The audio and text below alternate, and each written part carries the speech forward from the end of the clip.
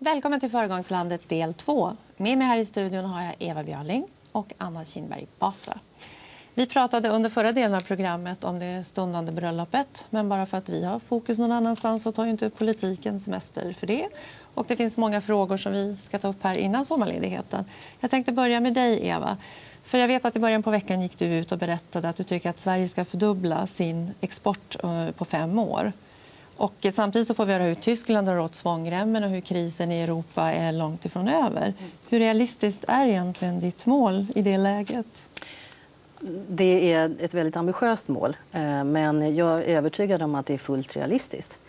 Därför att eh, om vi ser på Sverige så har vi idag stark tillväxt. Eh, vi har starka statsfinanser. Man vet också att Sverige är väldigt attraktivt. Man ser att det är en säker hand för utländska direktinvesteringar.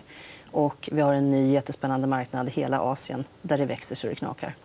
Men då gäller det också att eh, den svenska exporten ser att det finns en marknad utanför EU. Idag går ju 70% av vår export inom EU. Och jag tror att det är oerhört viktigt att inte lägga alla ägg i samma korg utan att sprida sina risker. Och Hur tycker du vi ska göra då? Gå tillväga? Du tror att vi kommer så långt då? Så att vi... Ja, absolut. Eh, det, men det handlar ju om flera olika verktyg. Det handlar ju om att, att vi ser till att riva handelshinder, att vi har fler bra frihandelsavtal att eh, vi fortsatt gör det lättare på EUs inre marknad och att vi också underlättar för företagen naturligtvis att komma ut i världen. Eh, så att det är många olika plan vi kan hjälpa till på. Ett annat viktigt verktyg är Cosmopolit-projektet där det är företagare med utländsk bakgrund som kan agera som vägvisare ut i världen för andra svenska företag. Mm.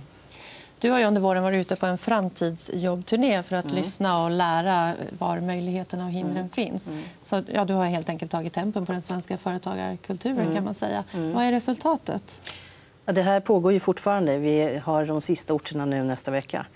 Ehm, så att jag ska väl inte gå, gå händelserna helt i förväg och, och avslöja resultatet. Men, men jag kan ju säga så här att det, det som väldigt många företag pekar på det handlar ju om bristen på finansiering. Alltså problem med finansiering för att kunna expandera, för att kunna också gå ut i världen. Ehm, men jag ska säga också att jag har träffat väldigt många unga entreprenörer. Och det är jättekul att se hur de är verkligen de är nyfikna, de är modiga, de är företagsamma. Och eh, man ser också bland unga att det tre av fyra vill starta eget företag. Och det stämmer ju väl överens med den mätning som vi såg här i maj också, att det aldrig varit så mycket nyföretagande som nu. Mm. Så att jag ser det som oerhört positivt mm. ute i Sverige. Handel och produktion är i allra högsta grad beroende av tillgång till energi som är rätt prissatt och som gärna också är så klimatvänlig som möjligt. Anna, nästa vecka är det votering i riksdagen om eh, kärnkraftspropositionen.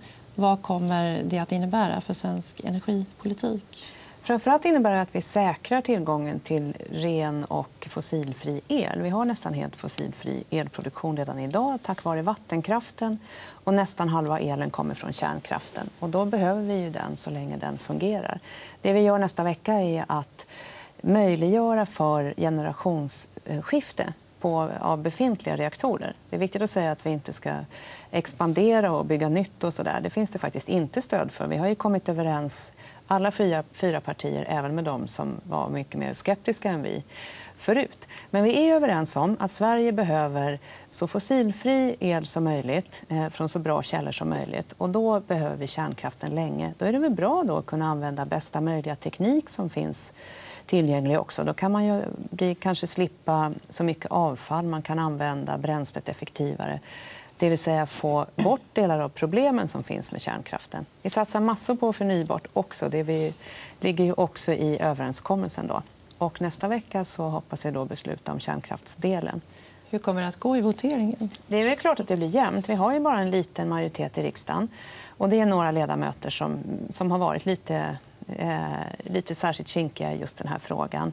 Jag hoppas att det blir en majoritet såklart. Och, eh, och de energispecialister jag pratar med de ser också fram emot att vi vinner valet igen. Det är först efter att vi verkligen befäster det här som jag tror att man verkligen ja, börjar nyinvestera och förnya på riktigt. Det behövs sån här enighet. Och våga satsa långsiktigt.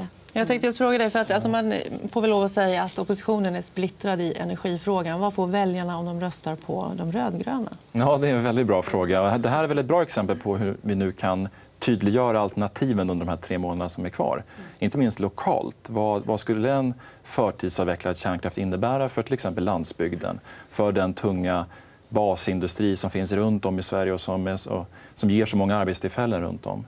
Eh, där kan man göra stora saker lokalt för att just granska det och tydliggöra alternativen. Jag tror att väljarna vill, vill veta och få ett samlat, samlat svar från oppositionen. Vad händer egentligen med kärnkraften och när ska den avvecklas som de har sagt att de, att de vill göra? Så det är, en, det är en bra och viktig fråga, inte bara för klimatet och för energin utan också för jobben. Jag, Vad tänkte du, jag har rest på rätt många av de orterna då och varit där hos den elintensiva industrin. Och där är det ofta så att socialdemokratiska kommunalråd håller med oss om att om man tar bort kärnkraften för tidigt så riskerar man halva elproduktionen och därmed väldigt, väldigt många jobb. Mm. Men nu har de ju satt sig i knät på Miljöpartiet som faktiskt har i sitt partiprogram att kärnkraften ska avvecklas med början citat, omedelbart. Och det är det där som inte går ihop. Och därför så gör man rätt i att vara väldigt osäker både om miljön och jobben om de vinner valet. För om vi har brist på el, vad händer då? Ja, då blir det som i vintras, att priserna går upp och vi importerar från fossila källor. Så det är ju ingen vidare, vare sig för plånboken, eller för miljön eller för jobben. Tack så mycket, Anna. Och tack till dig, Eva, för att ni kunde vara med här idag. I tisdags presenterades den vallåt som Moderaterna ska vinna valet med. Willy Crafoord, Mange Schmidt och Sofia Talvik är artisterna som framför vinnarlåten Flyter. Vi ska kolla på den i ett inslag. Moderaternas vallåt Det flyter kommer att framföras av det här gänget. Wille Crafoord, Sofia Talvik och Mange Schmidt. Och de kommer att uppträda vid flera olika moderata evenemang. Ja, alltså det är alltid roligt att jobba med bra artister och hitta nya sätt att komma ut med musik på tycker jag. Jag tycker att den har en härlig så här, give peace a chance-känsla utav det är lätt att sjunga med. Det här är en låt, låt den klinga sitt plång utan tvingande tvång, det är bara en sång. Vem var det som skrev texten? Eh, det var nog jag och Magnus eh, som faktiskt tillsammans satt och, skrev så att pennorna glödde. Jag vill ha en stad som blir glad om man är entusiast. Vill ha ett land som tar hand om utan att hålla fast. Om det flyter, Den eh, musikaliska ådra som då Moderaterna då skulle kunna förknippas med historiskt sett. Det är väl sådana som eh, Bob Dylan, Bruce Springsteen eh, och eh, The Beatles, John Lennon och så vidare. Alla står för frihet och en liberal feeling. Kanske tackar vi de döda för vår demokrati. Kanske tackar vi för frihet oavsett parti. När kommer ni att framföra låten live?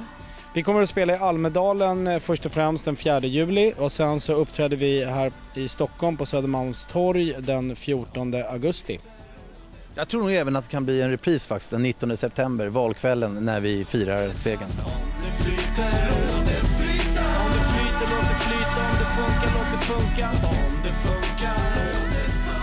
Bra tycker jag, det här med valsegen. Ville, Mange och Sofia, hur kom det sig att det blev dem?